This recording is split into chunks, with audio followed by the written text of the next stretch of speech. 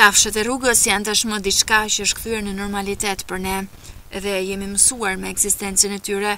Madje, dikush në pallat apo në lagje kujdeset t'i ushqejë, t'i japë edhe pak ujë. Por problematika theksohet gjatë verës kur këto kafshë të shumta në numër bëhen agresive dhe si pasojë e të nxehtit të tepërt. Tufa-tufa qentë qarkullojnë ditën por edhe natën në qytet, duke qenë siç duket edhe nga pamjet e dërguara në redaksinë tonë nga qytetarët e rastit. Kudo, në kushtet e krijuara nga moti i nxehtë dhe temperaturat e larta, qentë janë bërë më agresivë gjatë kësaj periudhe.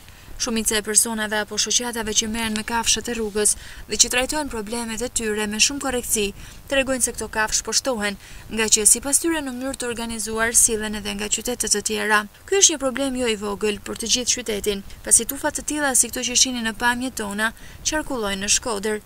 Dhjetë apo më shumë qen gati për të sulmuar këdo që kalon në rrugë. Ky problem duhet të marrë një zgjidhje sa më parë që të jetë e mundur dhe të mund të sistemohen diku që këto kafshë që sillen rrugëve të Shkodrës ditën dhe natën të strehohen. Streha e kafshëve e krijuar disa muaj më parë është në eficiencën e saj të plotë, por numri i kafshëve të braktisura apo të sjella nga vende të tjera kalon numrin që streha përballon, ndaj është me vend të shihen mundësi të tjera të cilat do të ishin më të mirat e mundshme për sistemimin e kafshëve të braktisura apo që janë të lindura rrugëve, por që nuk e meritojnë një fat të tillë.